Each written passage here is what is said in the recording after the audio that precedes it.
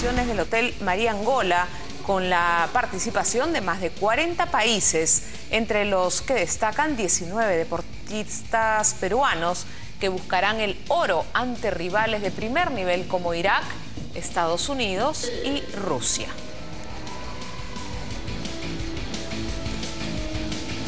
Bien, estamos viendo entonces la salida de los deportistas en este Mundial Juvenil de Levantamiento de Pesas. Todo un honor, ¿no? Estamos hablando de 45 países, ¿ah? Más de 400 deportistas. Vamos a escuchar entonces a los protagonistas.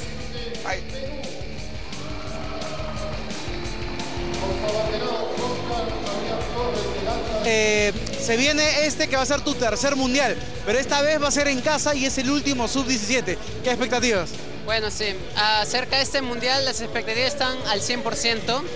Eh, vengo con mucha seguridad, vengo no con confianza, sino con seguridad de, de poder conseguir algo.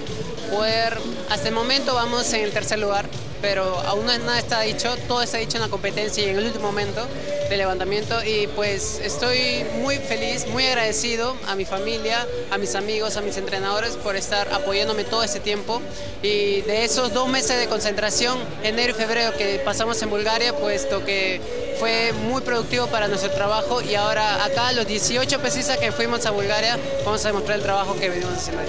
¿Cómo han sido esos dos meses allá en Bulgaria? Muy intensos. La rutina que nosotros seguimos, la rutina de entrenamiento es muy intensa, entonces nosotros tenemos que sí o sí tratar de responder a ello. Y nosotros cada vez que respondemos a ella, se producen los resultados. Y es así como uno puede ganar. Así es, ¿y cuánta adrenalina, cuántas ganas sientes de que vaya a ser acá en tu casa, pues? Eh, es nervios, y presión un poco. Pero ya con esta experiencia que ya tengo, son cinco años practicando ese deporte, ya puedo manejarlas. Entonces, ya como anteriormente he participado de campeonatos internacionales, pues siempre he sentido esa sensación de sacar más mi poder cuando estoy de local. En cada campeonato internacional que hemos tenido acá me ha ido muy bien y espero que continúe así.